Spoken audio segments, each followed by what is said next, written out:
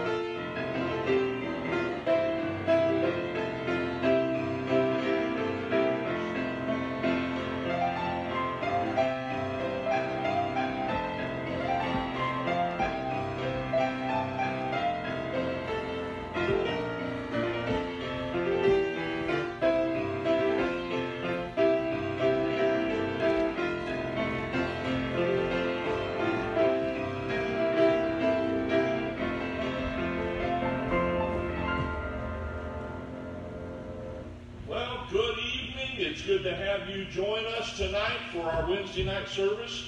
And uh, glad that you're here. Make sure you check in with the on the comment section. Let us know that you're here. And also, if you have a prayer request, send it in through comments and through uh, texting through 559-554-2741.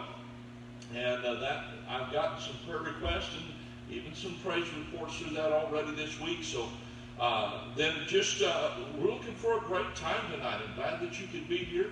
So uh, take your hymn book if you have one, a well-known song tonight, number three, Amazing Grace. Brother Jonathan, please. Good evening. Let's take our songbook. Song number three, Amazing Grace. We'll sing all four verses this evening. Song number three, Amazing Grace. Join me on the first verse. Amazing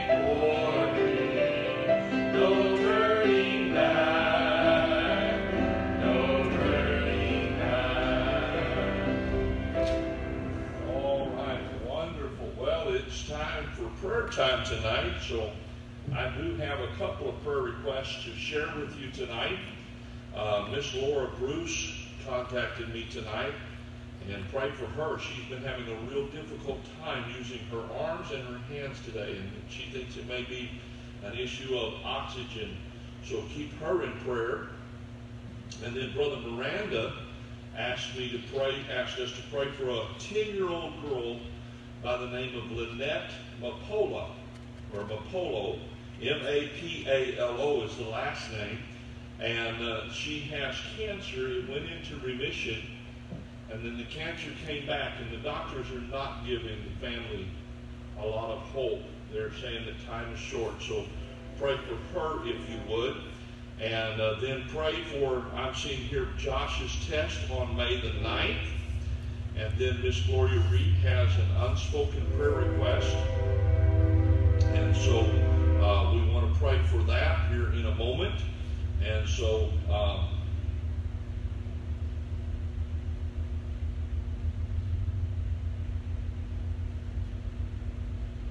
I know people are writing these down for me, but I'm just trying to make some notes so I'll remember. Um, Brother Ezra, Brother Cosby has two unspoken, and uh, so so we'll, we will be praying for those, and, and good to have everybody checking in tonight. We have folks from Texas and Oklahoma, and all over watching the services, and we're excited about that.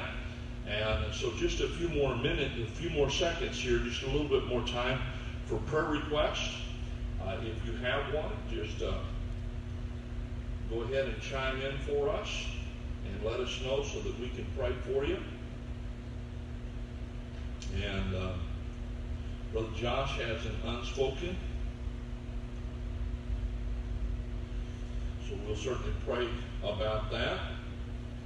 And uh,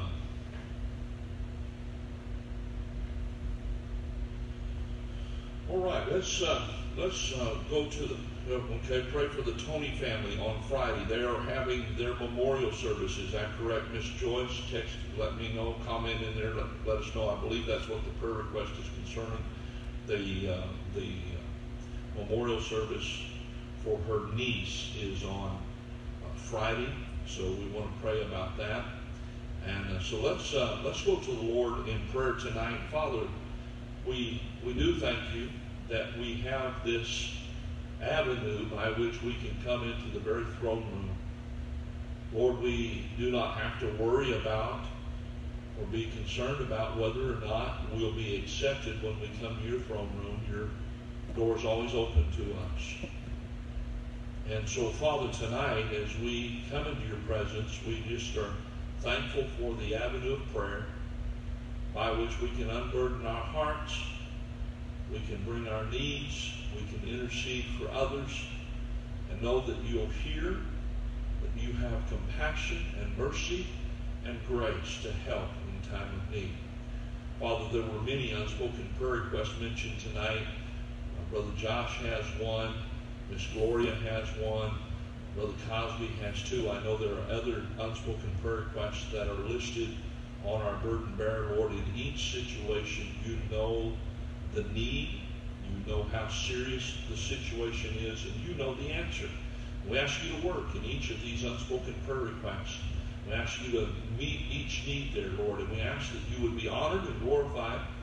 We ask that you would also, Father, uh, show yourself strong on behalf of each of these unspoken prayer requests. We pray for Lynette Apollo, Lord, this young lady that has cancer and the doctors are not giving much hope, Lord. And we pray, we pray that you would put your hand upon her, Lord, and uh, that you would strengthen her, Lord. And, and, and Lord, we just pray that you give grace and comfort to her family. Lord, I pray for Miss Laura tonight, uh, who's having a real struggle with her arms and her hands, Lord, and just having a difficult time even lifting them.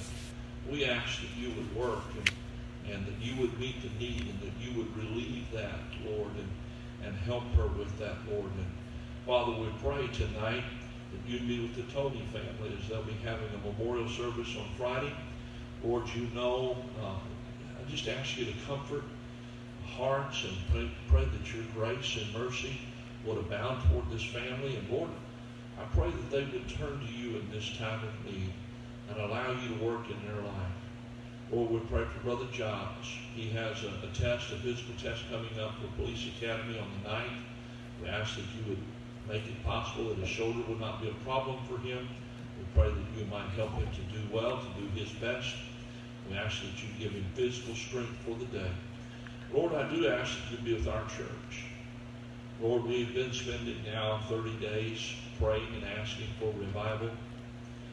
Lord, I've been asking you to work in my heart and and I know you have, and, and, and I pray that, that we'll be different. There'll be a new zeal, a new fire, a new desire in our church to accomplish something great for you. That we might uh, pray like Jabez, that you would enlarge our coast. We ask you to do that, Lord. We ask you to be with the service tonight. We ask you to speak to hearts, and, and Lord, that you would just bless in a very special way tonight. We pray these things now in Jesus' most precious and holy name. Amen. All right, yes, I got a, a, a Miss, Miss uh, Joyce did say that the memorial service is for her niece Natasha, so keep that in prayer. Uh, let me just quickly give some announcements tonight. Uh, all of our services will be uploaded on the YouTube channel.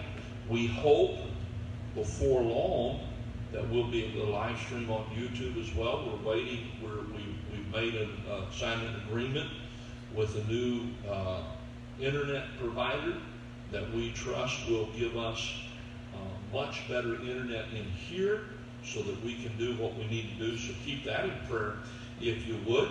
And uh, then just a reminder on our 30 days of prayer and fasting. We got one more day to go. Um, Tomorrow's the last day of that, but could I encourage you um, to continue to pray earnestly for revival, for revival in our individual hearts, for revival in our church, for revival in our community, uh, and revival in our country. We'll just continue to pray. I would say this God is working. God has done so many things, even in these last few days I, I, today I was in my car, and, and, and I'll tell you more about it. But I, if, if you could jump in your car, I was jumping in my car today. And so it was just, listen, God is working, and I'm looking forward to what God is going to do when we come out of this completely and, uh, and just excited about what God is doing. Then one thing that I do want to announce tonight, uh, all of you children are listening, Sunday night after the service, we're going to have a drive-by candy line here at the church. So as soon as the service is over, mom and dad load up the kids. drive by the church. We'll have the center gate open and the exit gate open, and just come in and drive by. He said, I don't have any kids. You want to come by and just say hi, we'll be here. We're just going to have a good time on, on Sunday night. You can just drive by. I'll invite everybody to come. So it'll take you a few minutes for everybody to get here, but just as soon as you can get done from the service, just drive on by and we'll just go through. And Mrs. King and I will be out there and we'll howdy with you a little bit. And we'll have some candy for the kids and and uh, we'll just see what uh, the Lord will do with that. I'm excited about that. I'm looking forward to it. It's going to be a lot of fun. And again, let me say thank you to all of you uh, for the parade. I, I have, we have received so many comments on that pastor appreciation parade.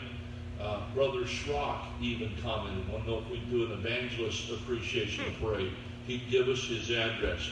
I don't know how we would do that in South Carolina, but uh, uh, at any rate, so uh, those are those are the things. Those are the announcements that we have, and also now it's time for our offering. That's the end of the month. I understand that the first of the month is right around the corner. So again, here's how you give you can you can contact me and, and, and I can meet you here or something and or I'll come get it. You can put it in the mail to the church, 1010 West Grangeville Boulevard here in Hanford. Uh, you can go online and uh, you can give online and um, and then you can text it or you can do a bill pay from your from your bank and send that to our address here at the church, 1010 West Grangeville Boulevard. So those are all the ways. So uh, it's time for offering, and so uh, would you play a verse for offering? And let me pray as you just start playing, and I'll pray for the offering, and uh, then we'll keep the service moving. Heavenly Father, thank you for the faithfulness of your people.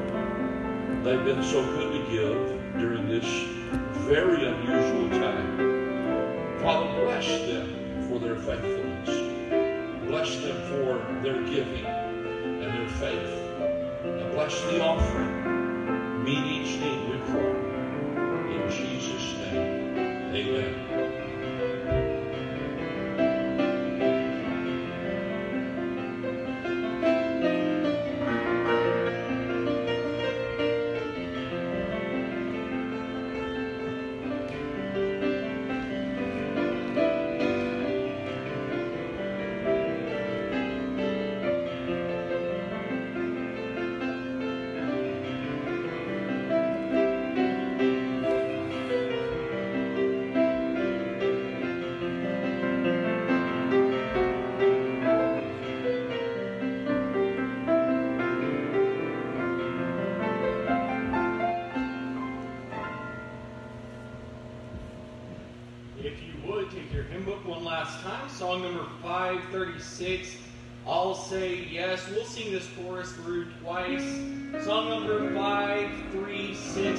536, I'll Say Yes.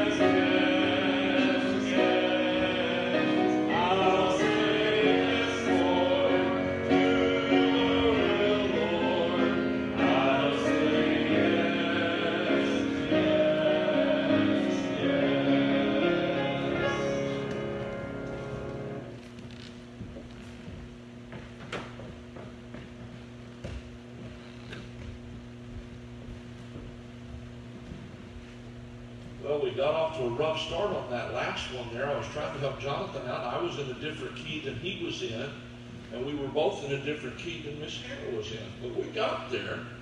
We were kind of flying in a scattered formation, but we came in for a good landing, so we're doing well. Hey, take your Bible tonight. Psalm number seven. And uh, there is a lot in this little song tonight. Psalm number seven. Read the entire psalm, and we're going to work our way through this tonight. The, the, the psalmist David says, O Lord my God, in thee do I put my trust. Save me from all them that persecute me and deliver me. Lest he tear my soul like a lion, rending it in pieces while there is none to deliver. O Lord my God, if I have done this, if there be iniquity in mine hands, if I have rewarded evil unto him that was at peace with me, yea, I have delivered him that without cause is mine enemy. Let the enemy persecute my soul and take it. Yea, let him tread down my life upon the earth and lay mine honor in the dust. Selah. Arise, O Lord, in thine anger. Lift up thyself because of the rage of mine enemies, and awake for me to the judgment that thou hast commanded. So shall the congregation of the people compass thee about. For their sakes, therefore, return thou on high. The Lord shall judge the people. Judge me, O Lord, according to my righteousness and according to mine integrity that is in me. Oh, let the wickedness of the wicked come to an end, but establish the just. For the righteous God trieth the hearts and reins. My God, my defense is of God, which saveth the upright in heart. God judgeth the righteous, and God is angry with the wicked every day.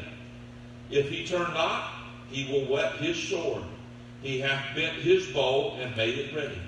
He hath also prepared for him the instruments of death. He ordaineth his arrows against the persecutors. Behold, he travelleth with iniquity, and, hath conceived mischief, and hath brought forth falsehood. He made a pit and digged it, and is fallen into the pit ditch which he made. His mischief shall return upon his own head, and his violent dealing shall come down upon his own pay. I will praise the Lord according to his righteousness, and will sing praise to the name of the Lord Most High. And we don't know the circumstances behind this. Uh, it just says here in, in, in, the title, it's a Shiggaion of David, which he sang unto the Lord concerning the words of Cush, the Benjamite. Maybe that's Shimei when he left Jerusalem. Absalom was chasing him. We know that Shimei threw rocks and threw dust and cursed him and, and said all these horrible things. And Abishai, uh, the son of Zeruiah, wanted to just kill Shimei. And David said, No, leave him alone. The Lord hath ordained this. And, uh, and then David dealt with it later and ended up letting Solomon deal with it, even as in Solomon's days. But this, this word shiggaion, the psalm is called a shiggaion. That's a the best definition I could come up with is this is not really talking about an instrument, it's it's it's a type of music. This is a lyrical poem that's composed under strong mental emotion. There's a lot of emotion in this. That's the idea. David is trying to convey his emotion. And, uh, and he's dealing with the issue of justice. Now, let's I'm titling this a prayer for justice. So maybe it is dealing with that time of Shimei, uh, but uh, he's praying for justice here. Justice, the one dictionary definition I came up with says this the virtue which consists in giving to everyone what is his due. Well, nobody's better at that than God. Nobody's better at giving people what is their due than God. Theologically, justice is who God is. God is holy. And, part, and, and you can divide his holiness into three areas righteousness, justice, and wrath. God is holy. That's who he is. So justice is who God is, and justice is the execution of God's righteousness. We human beings like to think that we're just. But in reality, we're not. Our judicial system is designed to balance mercy and justice. But too often, it goes one way or the other very heavily. And usually, it leans one way or the other, not based on right and wrong, but it usually leans one way or the other based on feelings. How we feel at that moment. And that's not that's not accurate. That's not how we ought to do, to, do things. And so, uh, while we're not told the exact circumstances of this particular song, we all have been in situations where we felt like we were wronged. Where somebody did wrong, somebody said things wrong, uh, we were not treated fairly. Uh, the reason that we were not treated fairly had nothing to do with right or wrong. It had to do with how somebody felt at the time. We've all been in those kinds of circumstances. And we've all been tempted to get even, haven't we? My favorite bumper sticker, and I've said this, I've, I've just taken this as a saying. I really don't mean it, but I, I'll say this I don't get even, I get ahead. That's kind of our attitude, isn't it? We're, we, we, we're unwilling to give room and give space to people. Somebody wrongs us, well, we're going to get back at them. We're going to right the wrong. But I, I want you to see in this that while we can identify circumstances where we're under pressure, uh, the, the, these things happen. They bring pressure for us to compromise or even commit sin. So David is facing this great pressure from some injustice that could lead him to a place of compromise in his life or even a place of sin in his life. Instead, he goes to God. And how many times have we let the guard down and done the wrong thing because somebody else did the wrong thing? And we said it was okay because they did the wrong thing. Well, folks, somebody once said two wrongs never make a right. Dr. Bob Jones Sr. used to say, do right until the stars fall, do right. And so we're to do right no matter what anyone else does. And David is, is facing a situation here, and he's facing circumstances that are putting pressure on him to give in, to compromise, to sin. And he says, I'm not doing it. I'm going to trust the Lord. So there are, if you've got your notes in your bulletin, there's five divisions here. And we'll go through all five of them, but I'm not going to take a long time on all five of them. Nobody in here better say amen. We have some folks sitting in here helping me with stuff that want 15 minute messages. It's because they're wicked and they're not spiritual and they can't handle preaching. So, at any rate, here we go. Number one, notice there's a cry for deliverance.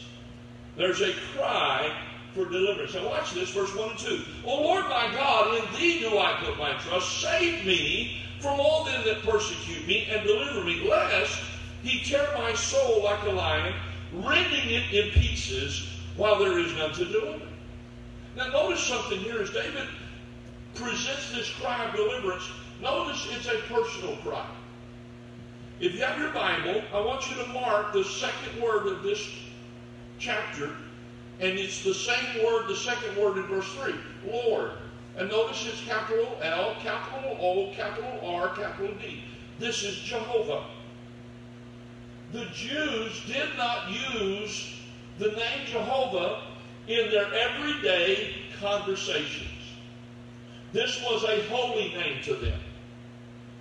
But notice what David says. O Jehovah, my God. In thee do I put my trust. He's using personal pronouns here. And he's including the most holy name that the Jews have for the name of Jehovah. If you remember back in Exodus chapter 3, when Moses asked God, uh, I've got to go before the people and I've got to tell them you've sent me. They're going to want to know your name. What do I tell them? God said in Exodus 3 and verse 14, I am that I am. That's Jehovah. Because God knew if Moses said, Jehovah sent me, it would have the people's attention. So here's David addressing God as Jehovah. the self-existent, covenant-keeping God, and he's not just addressing him kind of in a general sense, he's addressing him personally. It's a personal cry. Oh Lord my God, in thee do I put my trust. So he's referring to Jehovah personally, but notice it's also a passionate cry. Save me from all them that persecute me and deliver me. Now, David is not trusting his ability to get this done. Now, now, now listen to me. Study the life of David. You know what you'll find? He never lost a war. He never lost a battle. If there was someone who had the ability to fight his enemies and win, it was David. But David's not trusting his ability. He's not trusting his education. He's not trusting his understanding of people. His trust is in the Lord. Save me. Save me. Lord, it's a personal thing. I, here's a passionate cry. Lord, save me from all them that persecute me and deliver me. So we see a cry for deliverance, and then he follows that up next with a confession of righteousness. And you'll find that David does this all the time. And every time I read David doing this in the psalm, it challenges me. Watch what he says here in verse 3. Oh Lord my God, there it goes again. Oh Jehovah my God, if I have done this, if there be iniquity in my hands, if I have rewarded evil unto him that was at peace with me, then a secondary thought here, yea, I have delivered him that without cause is mine enemy. Let the enemy persecute my soul and take it. Yea, let him tread down my life upon the earth and lay mine honor in the dust. First of all, there's a, in this confession of righteousness, what David is saying is, Lord, you know I'm right. Lord, you know I'm clean before you. Can we say that tonight? How confident could we be to go before God and intercede and ask for His help on something on the basis, Lord, you know I've been living right? That's what David is doing. And, and notice in this confession of righteousness that there's a passioned defense. He says, I have done right. Verse number three through five, three and four. I have done right. Oh Lord, I have done this. Or if I have done this, if there be iniquity in my hands, what's he say? I've done right. I've treated people right. Last part of verse 48, I have delivered him that without cause is my enemy. You know why we should treat people right? Because it's right. You don't treat people right because they've earned it.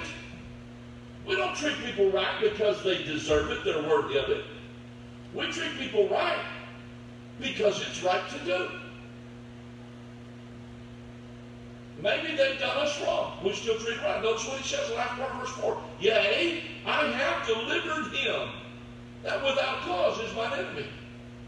David said, there's some people that have just chosen to be my enemies. I haven't done anything to them to cause them to be my enemies, but they're my enemies, and I've been good to them. Even when they chose to be my enemies. You and I may not always be treated right, but we still do right. Now, notice here that David had, there's a promised acceptance with this confession of righteousness. What I mean by that is, David is willing to accept God's judgment in his life. Look what he says in verse 4, 5. Verse 3 and 4, he says, If I've done these things, verse 5, let the enemy, let the enemy persecute my soul and take it. Yea, let him tread down my life upon the earth and lay mine honor in the dust. Selah. I wonder, could we really pray that with a confidence that that's not going to happen because we've done? He's promising to God, I'll accept your judgment in this situation. I know I've done right. I know I'm clean before you. I'm reminded of the story that Dr. Gibbs told about when he was defending Dr. Lester Roloff down in Corpus Christi, Texas, many, many, many, many years ago. And there was a lot of lawyers on the other side, and he, Dr. Roloff had Dr. Gibbs, that was his one lawyer, and things were not going well. And Dr. Gibbs met Dr. Roloff at the hotel room early one morning, and Dr. Roloff looked at Dr. Gibbs. He said, Are you clean before God? He said, Well, I think so. He said, Well, I tell you what, I'm going to go in this corner over here, and I'm going to pray, and you go over here in this corner and you pray, and let's get clean before God. And when I heard Dr. Gibbs tell the story, he said, I didn't know a whole lot about all of that. He said, I just know this. I wasn't going to stop praying until Dr. Roloff stopped praying. and they prayed. He prayed for a while, and then Dr. Roloff prayed because he got clean with God. He prayed and asked God to throw confusion amongst all of those lawyers and to make the judge physically sick. And they get to court. Now, this whole time, as Dr. Gibbs laid out the story, there's several attorneys on this other side. They've all been in agreement right down the line. There's been no disagreement among them. They're all on the same page. And they get to court that day and they can't agree on anything. And the judge says, Are you ready to go? And they said, No, sir, we're not. We can't agree on anything over here. And they said, We don't understand what's happening. We, we've been in agreement. and all of a sudden we can't agree on anything. We don't know what's going on. And, and Dr. Gibbs said, Dr. Roloff sitting there and tugged on his arm said, Should I tell the judge what I prayed about for him? He said, No, no, no. We're winning. You see, if we're clean before God, we can accept whatever God has. I'm wondering if there are times when we're not willing to accept God's righteousness in our life because we're not clean before Him. We need to make sure we're clean. Hopefully, during this 30 days of prayer and fasting, we've done some cleaning up. Maybe the Lord has given us some victory over some things in our life and we've gotten some things cleaned up. That's great because if we're clean before God, we're in a place to ask God for big things. Notice the next thing. There's a call for judgment. Verse 6 through 10. Now he says, Arise, O Lord, in thine anger, lift up thyself because of the rage of mine enemies, and await to me to the judgment that thou hast commanded. So shall the congregation of people compass thee about. For their sakes, therefore, return thou on high. The Lord shall judge the people. Judge me, O Lord, according to my righteousness and according to mine integrity that is in me. Oh, let the wickedness of the wicked come to an end, but establish the just, for the righteous God tri- triumph the hearts and reins. My defense is of God, which saveth the upright in heart. Now, notice in this call for judgment, two quick things here. Number one, there's a plea for judgment, or for, for action. There's a plea for action. Lord, rise up. Lord, go get them. That's, that's basically what David's saying. Uh, Look at verse 6. He says, Oh, arise, O Lord, in thine anger. Lift up thyself before the because of the rage of mine enemies. He said, Lord, go get them. Now, he's not trusting himself. He wasn't going to take things into his own hands. He was going to let God do that, and he knew that it would work out better if God did do it. But there's this plea for action. God, you get involved. Now, notice verse 7. And verse 8, 9, and 10 talks about God defending and what have you, but there's a purpose of justice here. He says in verse 7, So shall the congregation of the people compass thee about. For their sakes, therefore, return thou on high. The purpose of God being just in your life and my life is not necessarily or not solely for the purpose of getting us out of some situations. Ultimately, the purpose of justice is that God would be honored. And it would cause people to see His holiness. David just lifts up God here. He says, The congregation of the people can pass thee about. The Lord shall judge the people. Judge me, O Lord. Uh, verse 10 My defense is of God, which saveth the upright in heart. Listen, he's just saying, Lord, I'm asking you for action, but I want it to be done in a way that you get the glory, that you're honored. I wonder, do we live each day with the idea that God would be honored with my thoughts, that God would be honored with my actions, that God would be honored with my language, that God would be honored with everything about me. That ought to be our thought every day. So as David called for judgment, he wanted to make sure that God was honored. Notice the next thing. There's a confession of justice. He called for mercy or for deliverance. He followed that up with a confession of righteousness. Lord, deliver me. I've been right. Now, Lord, I'm asking you to get involved. I'm asking you to act. But God, I'm going to confess some things about justice. Look at verse 11. God judgeth the righteous, and God is angry with the wicked every day. And when you start reading in verse 12, he's not talking about God here. Verse 12 starts talking about the wicked. If he turn not, he will whet his sword. He hath bent his bow and made it ready. He hath also prepared for him the instruments of death. He ordaineth his arrows against the persecutors. Behold, he travaileth with iniquity, and hath conceived mischief, and brought forth falsehood. He hath made a pit, and digged it, and is fallen into the ditch which he made. His mischief shall return upon his own head, and violent dealing shall come down upon his own pay. So now there's this confession of justice, and he says in verse 11 that God is powerful. He talks about a powerful God. And he says that God judges the righteous. God always judges rightly. God always will do the right thing in our life. We can depend on that. He is holy. Therefore, God cannot ever do that which is wrong. We may not see it, we may not understand it, we may go through some circumstances where we feel like this is wrong, this just doesn't seem right, but God is right, and God is holy, and He judges right. And the last part of verse 10 is, or verse 11 is an awfully harsh statement. But David says God is angry with the wicked every day. That doesn't mean that you and I get to be that way. But God is. And, and when we look at that and we understand how powerful God is, then we have to understand this. It's not up to me to chasten the wicked. That's not my job. That's God's job. And we live in a day and age where there are wicked people around us. There were wicked people around David. It's not any different. We have a tendency to look at our day and age and we're experiencing it, so therefore it's worse than any other time. It's worse now than it's ever been. No, not really. Man has been man since God created man.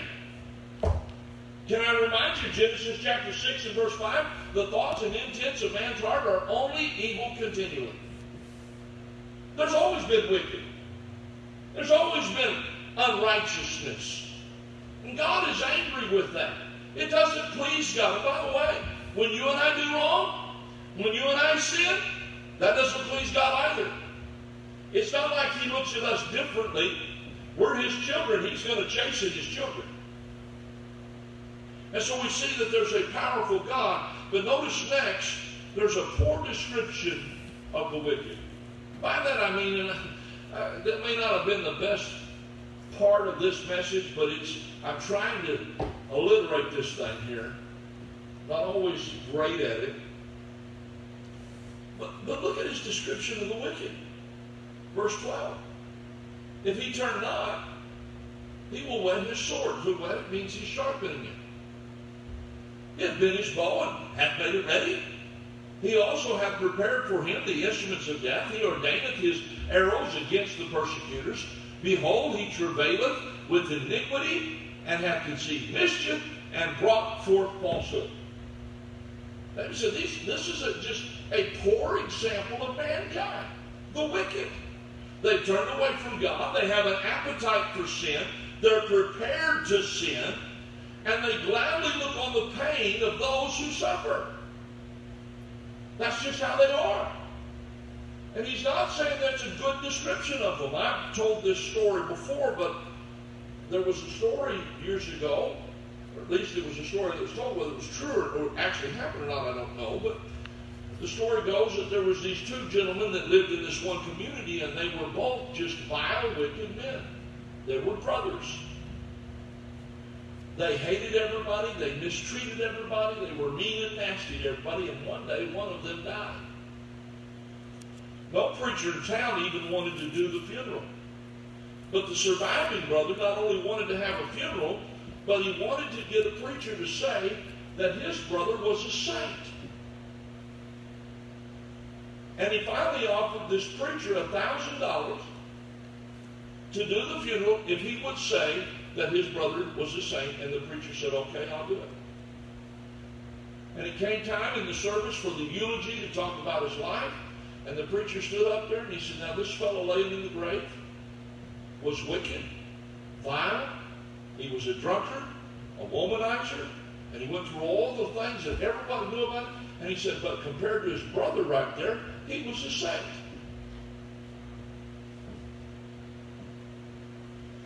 Now, that's what David is, is, is not being that graphic here, but he's basically saying these people the wicked, they don't have a, they don't have a good reputation.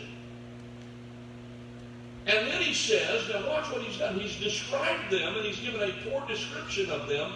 And then he gives a promised end.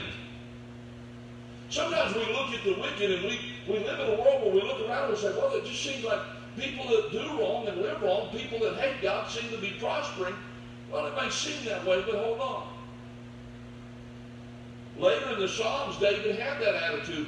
Why are the wicked prospering? He understand it. And he said this, until I went into the house of the Lord and understood therein. So he talks about it here. Look at verse 15.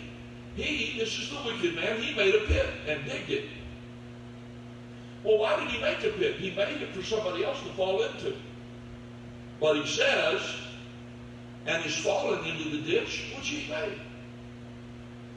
In other words, he's going to fall by his own devices. He's going to get tripped up by his own things. Verse 16 His mischief shall return upon his own head, and his violent dealings shall come down upon his own pate. Which is another way of saying the head. See what I'm saying? It may look like the wicked is winning, but ultimately, no. Their wickedness will turn on them. And so there's a promised end. Why? This is a confession of justice. So David has had a cry for deliverance and a call for a confession of righteousness, a call for judgment, and a confession of justice. So how are we going to end this? Well, look at verse 17. There's a commitment to worship.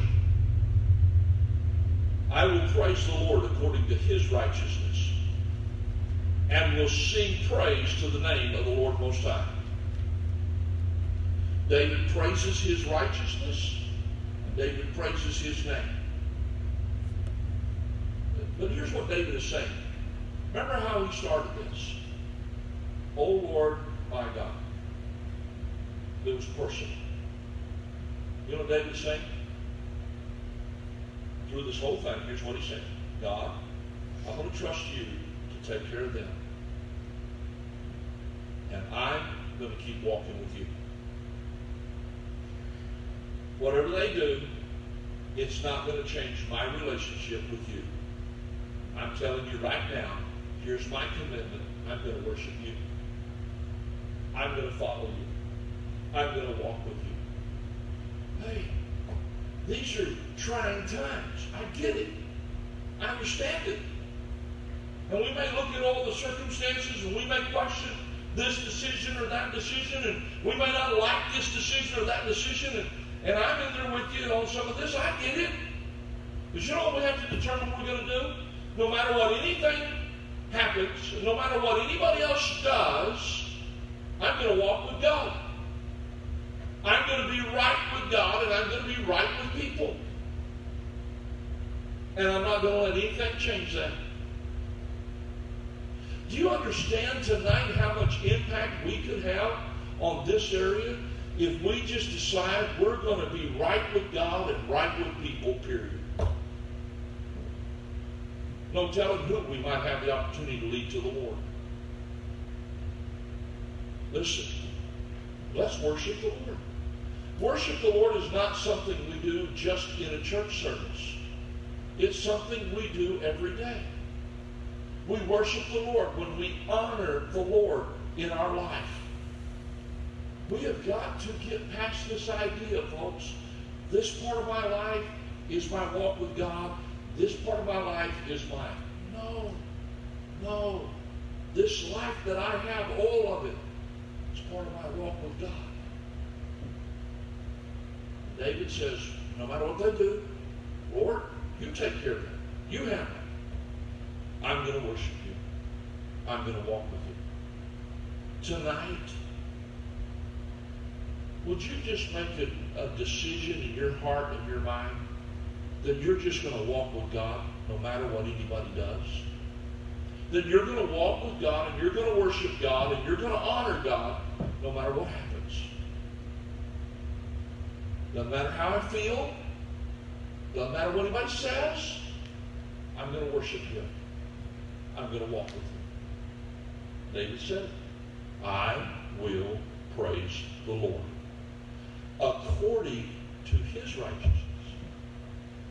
And I will sing praise to the name of the Lord Most High. Let's pray. Father, tonight, thank you for speaking to our hearts. Thank you for this precious song.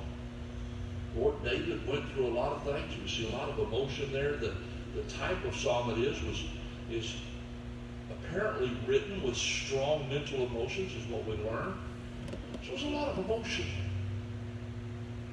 And David summed it up by saying, I will praise him, the Lord, according to his righteousness. I will sing praise to his name. Lord, may each of us tonight decide right now in our heart, come what may, we're going to walk with you. Come what may, we're going to worship you. We're going to honor you. Would you help us tonight? Our heads are bowed and our eyes are closed. And you're making maybe an altar out of your sofa there or wherever you're watching this service. Maybe it's mom and dad and children watching together. Maybe dad, you get the children involved in prayer right now and say, you know what? Our house is going to worship the Lord. Our house is going to serve the Lord. Would you make that commitment to Him tonight? Would you say, Lord, I, am just going to, no matter what anybody does, I'm going to worship you. No matter how people treat me, I'm going to stay right. About it tonight? As Miss Hannah plays a little bit of an invitation song, would you pray right now? Say, Lord, help me to just walk with you. She's playing the chorus we sang a little earlier. I have decided to follow Jesus. Would you make that your prayer tonight? Doesn't matter what the politicians do, I'm going to walk with you. Doesn't matter what somebody at work does, I'm going to walk with you. It doesn't even matter what a family member does, I'm going to walk with you. Tonight, would you make that commitment to Him? Lord, I'm going to worship you. I'm going to walk with you.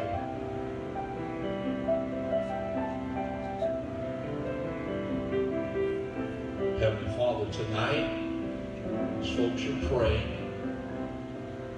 their hearts are bowed to you. Decisions are being made. I pray you would be honored with those decisions. I pray, dear God, that you would help us to keep the commitments we make to you tonight.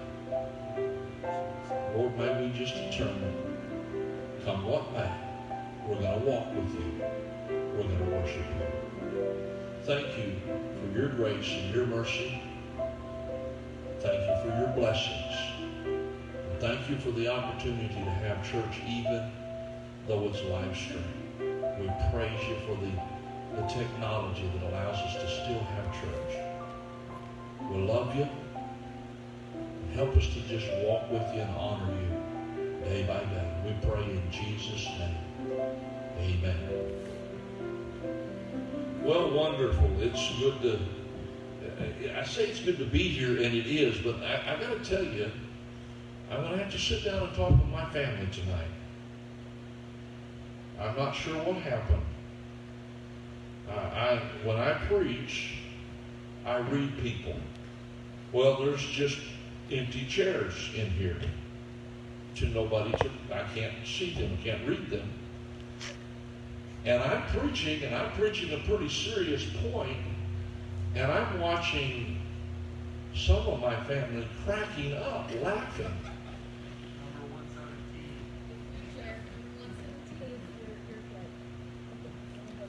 Of course, it was Jim Nelson. Number one seventeen. Whatever, Choke. whatever. So it wasn't just people here being wicked. The deacon was being wicked as well. I see how that works. So, brother, brother, brother Mio sitting here tonight. He was well behaved tonight. He didn't. He wasn't. hey, listen, isn't it going to be fun when we can get back together? I- And and it's going to be a great day when that happens. You be praying for that. Pray for your preacher for wisdom. Uh, to, to know exactly what to do, how to do it. Uh, these are I, I've had I've had I had a preacher call me today, and uh, he asked me. and In fact, Miss Davis, Brother Gervitz, called me today. He said, "What are you going to do?" He said, "I'm just trying to find out what other preachers are doing." Because a lot of preachers are getting antsy, and they're wanting to go back to church, and I understand that. So pray that God will give us wisdom, that we'll do the right thing. Ask God to continue to meet needs, and He has. He has done some marvelous things even this week.